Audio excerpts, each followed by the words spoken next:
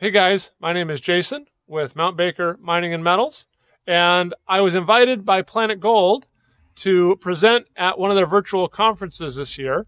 And so I want to make a video today showing the process of taking raw gold ore, like in this bag behind me, running it through one of our turnkey systems, and then taking the concentrates off our shaker table and using a process called cupellation and also direct smelting to recover the gold using uh, mercury-free and chemical-free methods.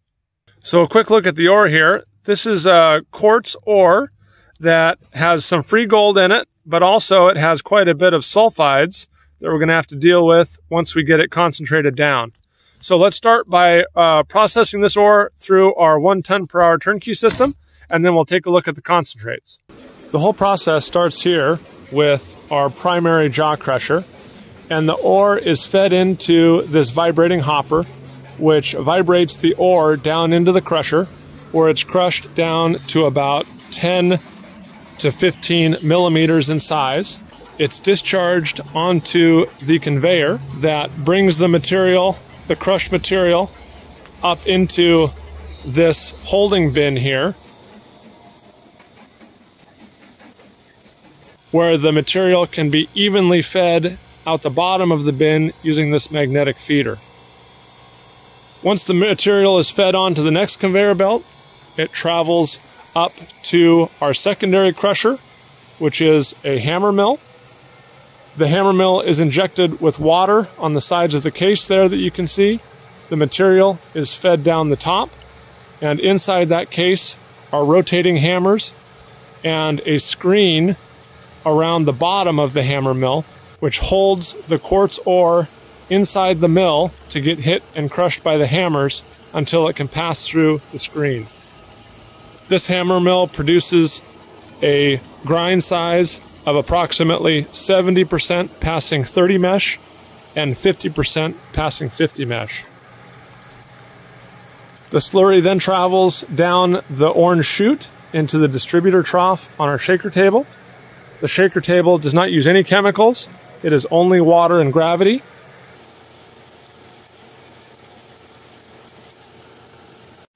The gold and the other heavy minerals, such as the sulfides, are caught in the grooves of the shaker table. The sulfides and other heavy minerals come down and report to the number three port as a middling fraction. Anything that's caught in the grooves moves over to the left hand side of the table onto the cleaning plane where the gold can be separated from the majority of the sulfides and other dense minerals by the action of the table and water. The gold and all the high grade concentrates come down into the number one and number two port. And the quartz and other gangue minerals has a very low density. And so it is washed down into the tailings trough of the shaker table by the action of the shaking and the water and all the tailings report into this dewatering screw that augers the material up the trough and into a white holding bag. In this system, the water is completely recirculated, so there is no discharge into the environment. We use a roughly 10,000 liter tank that recirculates the water and the very fine material that goes into the tailings pond from the screw, settles down into the basin, and the clean water is then pumped back onto the shaker table into the hammer mill for reuse.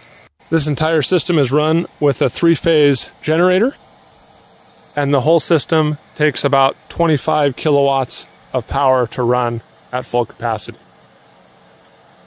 We do have other smaller equipment that can be used for operators with smaller budgets or less material to process.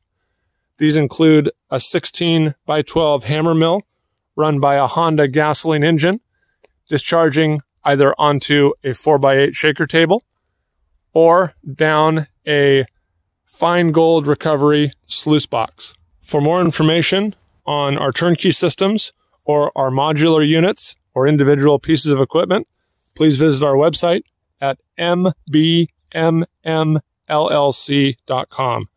You can also find many more videos on our YouTube channel. We just finished our run. I've cleaned off the shaker table with a brush. I've brushed down all the concentrates out of the riffles that uh, were left down into the number one and the number two concentrates. We've transferred the number one concentrates to a, a gold pan. And I'm going to show you first my preferred method for cleaning out these concentrates. So here's our gold we recovered. And now I'm going to take a small snuffer bottle and I'm just going to suck out some of it to demonstrate the direct cupelling method, but I'm going to leave some of the gold in there for the direct smelting method. So for the direct cupelling method, you want to get the gold as clean as you can. If you get a little bit of the, the sulfides with it, that's okay. But I'm just going to take a snuffer bottle just like this one, and I'm going to suck up the fairly clean gold into the snuffer bottle. And if I was going to do this to completion, I would keep panning it down, sucking up the gold, keep panning it down, sucking up the gold until there was no more free gold. Okay, I'm going to take the material in our snuffer bottle and I'm going to uh, drain it, siphon it out through this rag. It's just a, a paper towel, uh, a shop rag. I'm going to shake the gold down to the tip here, and I don't know if you can see, but the tip of the snuffer bottle is filled with gold. Now I'm just going to wash the gold from the tip of the snuffer bottle down into the little cone that I've made in the paper towel. And you can see there, there's uh, mostly free gold. There's a little bit of uh, darker specks in there. But I'm going to repeat this process until I have all the gold out of the snuffer bottle. I take the rag out of the little cup here, and I just wring the excess water out of the rag.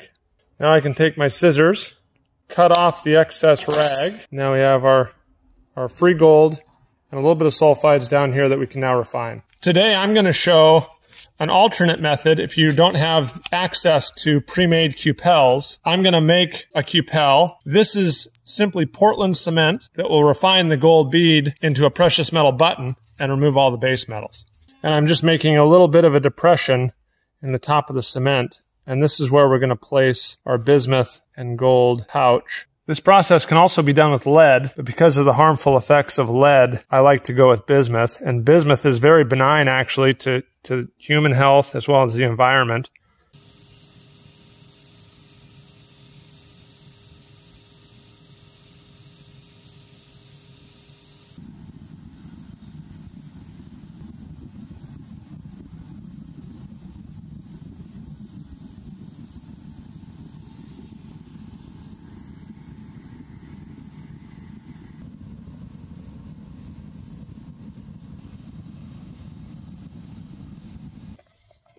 And there's our little precious metal bead. And here's our precious metal bead.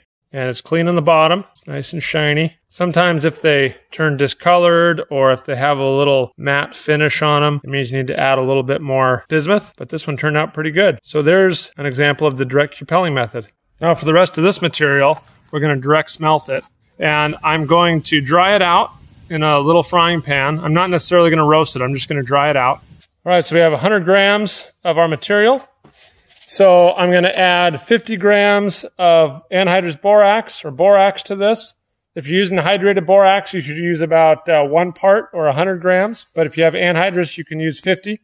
And for soda ash, I'm going to add 200. I'll probably add 20 grams of lead oxide. We have all our ingredients mixed together. And this thing down the middle is just a piece of iron or steel. And this is going to reduce all the base metal sulfides to iron sulfide. And it'll all collect down at the bottom here in a metallic form, and then we'll pour it in our cone mold. Then we'll chip the slag off the metal button, and we'll keep the button away, leaving us our precious metal bead. There it is down the bottom of our furnace. We're going to fire it at about 1200 degrees Celsius for about 20 minutes after it all becomes molten.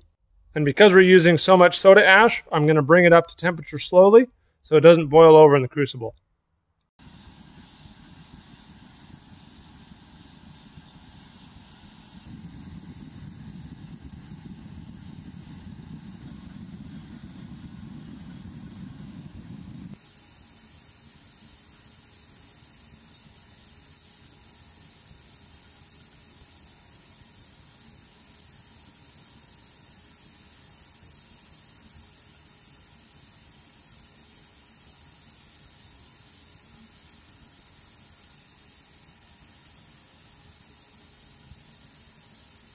Here's our cone mold. It's cooled down a little bit.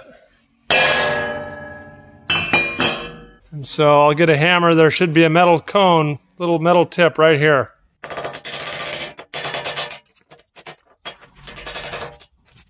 So there it is. So we decomposed all of our sulfides because there's no matte on top of the button.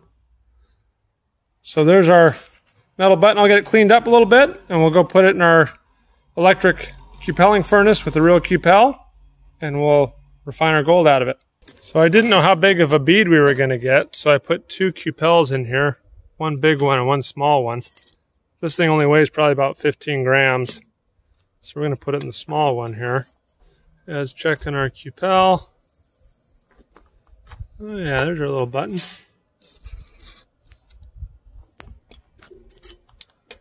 We'll get that guy cooled down and uh, take a look at it. So here's our little button. And again, it's got a nice, smooth, shiny surface.